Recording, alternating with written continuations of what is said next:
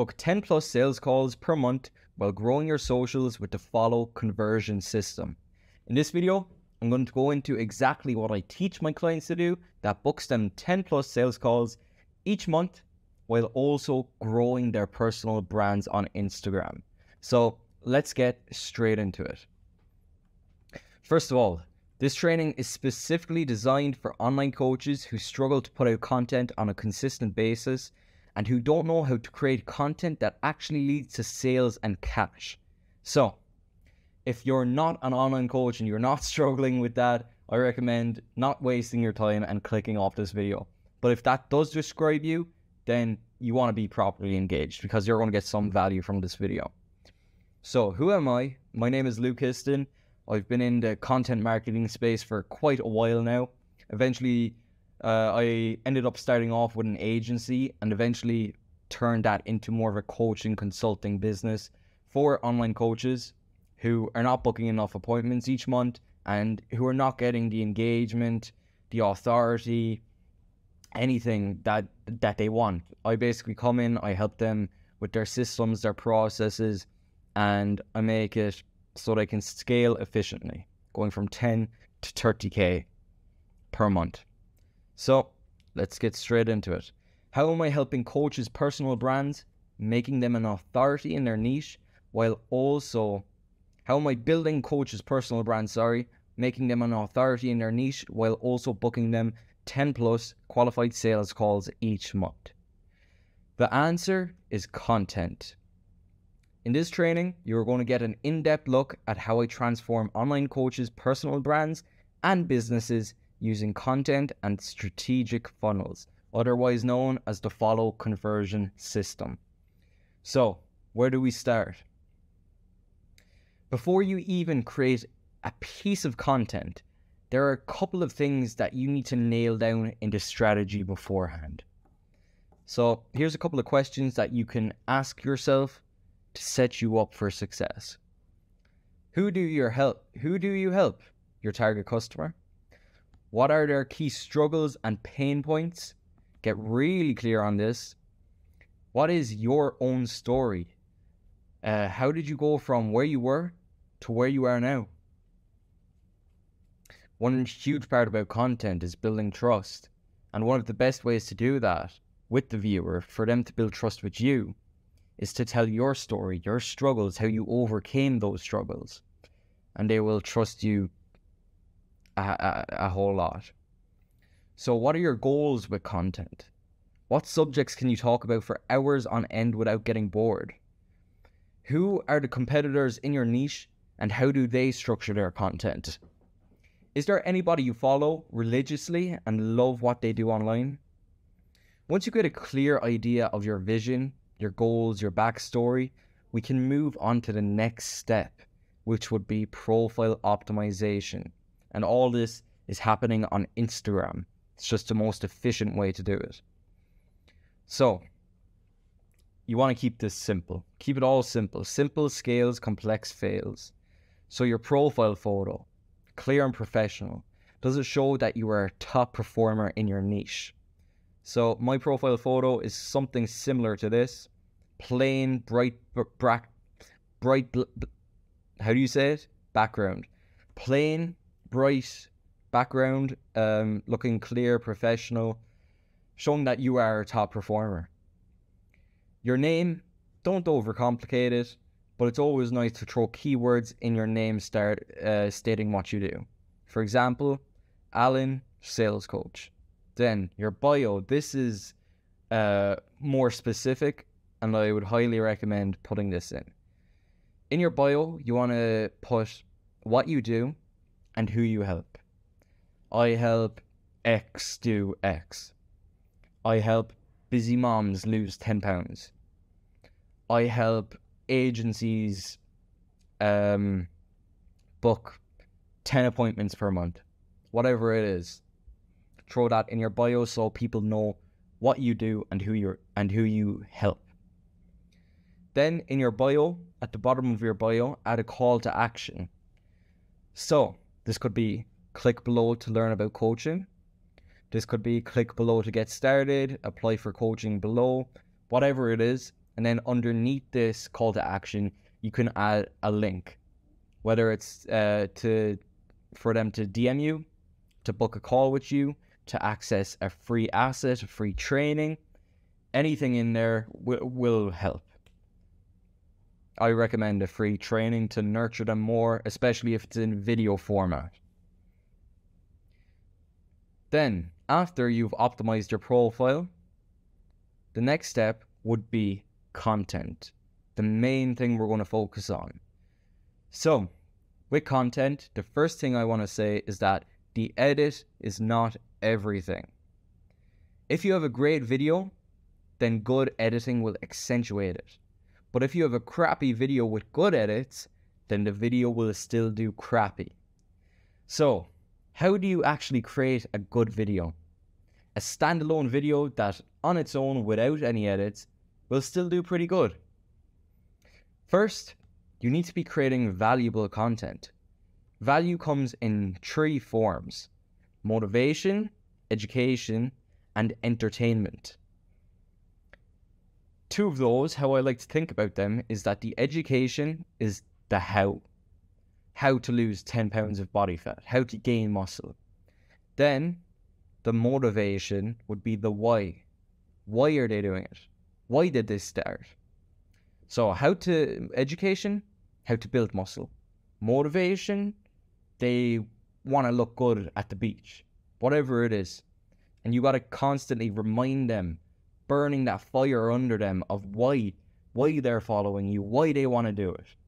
And this will make them more likely to eventually DM you, convert, sign up to your program.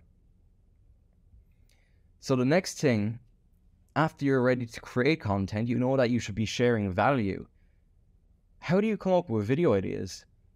So, number one, turn frequently asked questions. If you already have a couple of clients, turn frequently asked questions into videos.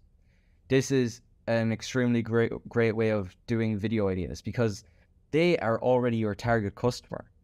So any questions they have, it's likely that a lot more people, a lot more of your target customers are going to resonate and have the same questions. So turn those into videos and um, you will be answering a whole lot of people. The second way that you can find video ideas and find trending video ideas that are trending right now is by going to TikTok, searching your niche, then filter by most liked, and then this last week slash month. I usually do month. So once you do this, it will show you all the trending videos in your niche from the last month. Now, you can go through here, pick out video ideas, take inspiration for hooks, but I never recommend stealing somebody's idea or stealing somebody's video completely. What you should be doing there is taking that idea and creating your own your own inspiration, your own ideas and making it 10 times better than their video. And then the third thing is anytime you have a video idea that pops into your head, write it down in a notebook or on the notes app on your phone we may not use that idea now, but we definitely will we definitely will use it in the future. So you need a place to store all those video ideas so you never forget. Then you have your video idea ready to go. Your profile is optimized. What's next? The video structure. How do you actually structure a video for success? So the most basic format of a video structure would be the hook, the body or explanation, and then the call to action. So, the hook would be the first couple of seconds of your video to get people initially engaged. We live in a in a society where if you can't get somebody engaged in those first couple of seconds, with that scrolling platform, they will scroll right off your video. So I don't want to hear any, hi, my name is Bob, and this is what I do. You need to get straight into the meat of the video. The next thing would be the body and explanation. This is where you're giving the tips, you're giving the value. And um, then the third thing is the call to action. leading them to do a certain thing, whether it's follow you. Um, as you will see in a minute, I don't like when people say book a call or click the link in my bio or anything like this. And I will explain why in a minute, but follow, comment, save, all great call to actions. And you need that in there because people do need to be reminded of what to do. If they're not, then they may say, oh, that's a pretty cool video and scroll right by. But reminding them gives them a better chance of following or doing what you want to, them to do. So the hook is arguably the most important part of your video. Like I said, with the with the attention spans nowadays, they're not great. So you need to get people engaged straight away. So how do you create an amazing hook? Hooks have a, a, a couple of important variables that make them successful. So number one, specific target viewer. Who are you calling out? And from the questions I asked earlier in the strategy section, you should know that. Number two, the dream result or the problems faced by your target viewer. Where do they want to go? What's their dreams? What's their aspirations? Or where are they stuck? What are they struggling with? If you can find these out, it'll be amazing. And then three, the solution to achieve the dream result letting them know that you do have the solution for that problem or you you can take them from A to B. Then there's a couple of other variables that um, you can use in your hook. So target audience, pain point, uh, subtraction, uh, you telling them that this is how you take away a pain point, uh, calling out their pain point. Uh, are you a busy mom struggling to lose weight? And then the busy mom would say, Yes, that, yes, I am struggling to lose weight, and they'd be more engaged in the video. Or time frame. These are all things that you can compile together. Are you a struggling mom, target audience, uh, view, uh, viewer and dream state, looking to lose 10 pounds and then time frame in the next six weeks? I don't know if that's accurate, but you can add these together and make your own hooks out of them. So, video structure, this could be I'm going to give you three tips, letting them know it's a three point video. Uh, dream end state, like I said, um, uh, viewer before state. So then that's how you create an amazing hook is by adding those things up together and and basically just targeting your your target viewer. Then, the body or explanation of the video. There's another couple of important things that we need to know here while creating content. So, don't give away the punchline at the start of your video. Why is this? Social media platforms favor watch time. They want people to watch your video for the longest duration possible, and if they do, then they're going to push it out to way more people if people if the social media platform notices that people are scrolling right off your video, then it's going to get pushed to less people. So, don't give away the punchline of your video at the very start. So, do not tell them the solution right away. Maybe give a small explanation before before the solution. Maybe go deeper into their pain point, telling them how they feel. But save the punchline and the solution to nearer towards the end of your video to rack up that watch time because they will continue to watch the video to get to the punchline. Then, a storytelling format, something I've been loving recently. Storytelling is way more engaging than than five tips and tricks. If you can tell somebody a story about how you went from A to B, they're going to listen to that way way more engaged than whether than if you're telling them five tips to go from A to B. So share stories from your own life and from your your clients. Share their transformations, how they feel, uh, stories just from your industry. Then tell people how you done it That's a little typo there. Tell people how you've done it instead of telling them what to do. I just men- mentioned this there, but if you tell people how you done it, they they can't say that anything's wrong. If you tell people to do something, they can say, "No, no, that's a, that's terrible advice." So if you told somebody, "Oh, this is how I lost ten pounds of body weight," and you told them how you done it, they can't say anything. That's actually how you done it. But if you're telling somebody, "This is how you will lose ten pounds of body fat," they might be like, "Oh, what? No, my body doesn't work that way," and that that's kind of how it works there. But tell people how you do it. Tell people what you do for your clients. Don't make it salesy, but just make it info- informational. Then, give actionable steps that the viewer can implement today. This will make them way more likely to to actually follow you, um, take action on your call to action. Give them steps that they can implement right now today. Then for your call to action, here we go. People will not buy from you after seeing one video. They will also not book a call after one video, no matter how good it is. Tell them to go through your past content or follow to nurture them. They need more trust built up rather than just one video. Nobody's going to buy from you after seeing one video of yours. So tell them to go through your past content or follow you. And uh, this will lead down into our next couple of steps of the strategy then. So, extras going forward with your content. Client results and testimonials. You need a bunch of these. Show people that you've helped people like them in the past.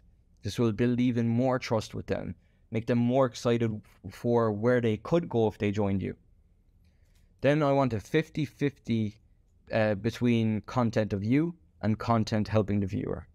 So this would be content telling people how you done it and content telling them whatever the five tips and tricks to do it. 50-50. Don't give away the punchline at the start, we went over that. And then daily consistent content. The more you post, the more followers you will you will get, the more people that will be engaging with you, the more people that will um, will be messaging you to work with you, so daily consistent content. One to three posts every single day. And then the last thing, have fun with it, you know? People a lot of people take it too serious. And um, I feel like when they do take it too serious, they eventually get burned out from from doing it. So have fun with it. Don't take it too serious and, and just know in the back of your mind that it gets much easier over time yeah, it really does get much easier over time once you know the strategies, you know how to structure it, you have it eh, as a habit, you know to schedule it, and you know save time with content, everything like that. So now, you're creating amazing content, but how are you actually going to convert viewers? This is what we're going to go into right now.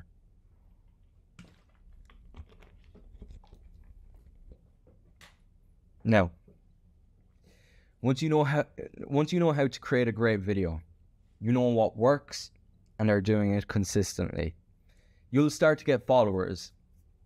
And since you've been calling out your target client in your hooks and have been giving specific advice that will help them, um, then that will be then they will be the people that are following you, your target viewer. You're giving actionable advice that suits them and their goals, and you're also calling them out in your hooks. So they will be the people following you, your target customer. Anytime somebody does follow you, uh, thank them for their, their support. Hey, name, thanks so much for the support. Something simple. You're not you're not trying to sell them or anything. Then this will open up the room for conversation. Since they followed you, they know you're an authority. They know you give good advice and they know you can be trusted. That's the reason why they followed you. You give good advice and you speak to them. They're starting to build that trust. Maybe not fully there yet, but it's building. Then this is where the trust fully gets built. They will binge older content on your page and build even more trust with you on autopilot just from you posting content. And you want the testimonials, previous client results in there, everything like that. Since they're the ones who followed you, you are no longer a stranger and they will be more open to conversation with you. It's much easier to um, have a conversation with somebody who you follow, you watch, you feel you feel like you kind of know them. Rather, if it's just a stranger DMing you, you're kind of like, oh, nah. Then, in the DMs, you can then qualify them. Ask them questions about what they do, where they are in their journey, where they want to go. And if you feel like you can help them, then book them on a sales call. Show them what you have to offer while diagnosing their problems and showing them that you have the solution. And then eventually they will sign up if your sales is on point. Then for this, rinse and repeat. Content, content, content. I sound like Gary Vee, but it's true. So, there's a lot more to this system, but that is essentially the main parts. But there's a lot more specifics like DM scripts for when people follow you, like running ads behind certain posts to boost it to more of your target followers. There's a lot more that goes into it, and I do go over a lot of it on my Instagram, which is here, Luke Histon HD. So give me a follow on there. Give me a DM as well if you have any questions. I'm happy to answer them over over there. So that's essentially it. But what I do then in my coaching program is I do help clients with more nuanced things, video ideas, hooks, um, even down to editing. My I have a team that does all the editing for them, um, helping them with ads, the DM scripts, like I said, optimizing their profile, their content, everything like that. So there is a bit more that goes into this strategy, but I'm sure if you went over to my Insta, go through some of my content, you will definitely find what you're looking for. Otherwise, shoot me a DM and uh, I'm happy to answer any questions there too. So, thank you so much for watching this video. Give me a follow on Insta and let's have a conversation. I'll see you in the next one.